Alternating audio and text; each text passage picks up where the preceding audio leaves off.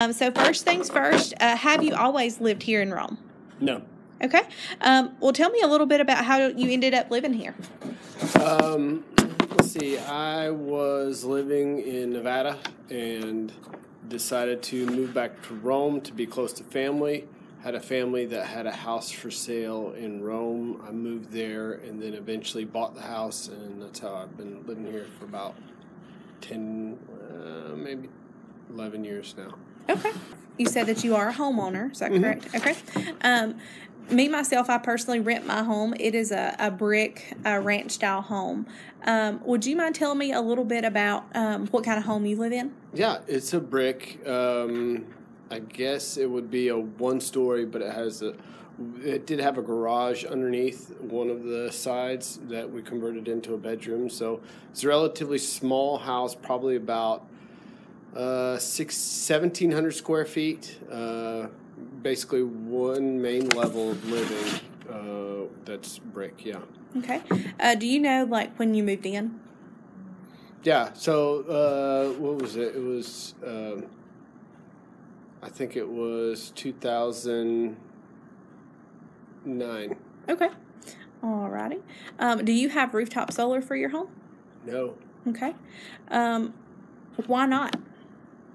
I uh, really I don't know enough about it. Okay. it yeah, I, I wouldn't mind. I'd be I'm open to it. I'd be uh, comfortable with it.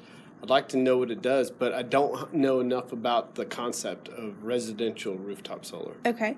So um, you said that you don't have it on your home. Was that decision? Um, was that a decision that that you made, or was that something that was made for you?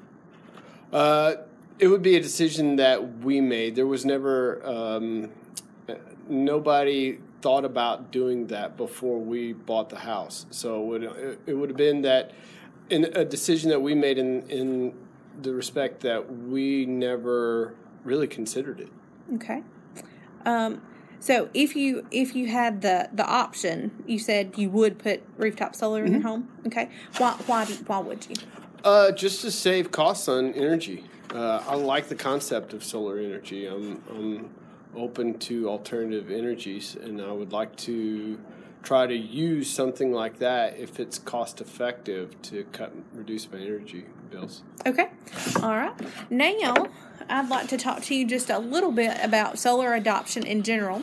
So, the first thing we have here is a map of the United States, and then there's your pen. Um, so, where do you think people have the most rooftop solar energy on their homes? And then, could you just draw that on the map for me? Okay. Um, what makes that community so different from people um, here in Rome? Uh, I just guess that um, that's just Southern California. I assume that they're very um, they're very proactive when it comes to alternative energies, and so it's just an assumption that they would they would adopt those the rooftop solar Okay. panels. All right. Now, I'd like to know. Do you know who has the most? I, I really don't. I really don't. Um, I can find out for you though.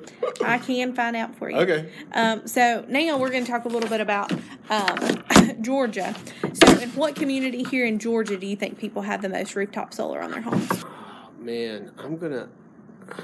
I would say like Sandy, Sandy Springs.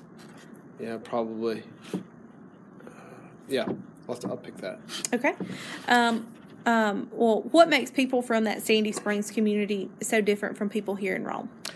The only reason I picked that is I assume that they. I, I assume that it has a, a significant upfront cost for installation, and I just assumed that it being a probably an area that has um, higher income families, they would be able to afford installing solar panels. Okay. All right. What about most of your close friends here in Georgia? Do they have solar on their roof? No. Okay. Uh, why do you think they don't? Uh, a, they don't know about it as an option, or B, I'm assuming this the cost for installation. They Okay. haven't tried to install it. All right. Is there anything else that you might like to add? No. Okay.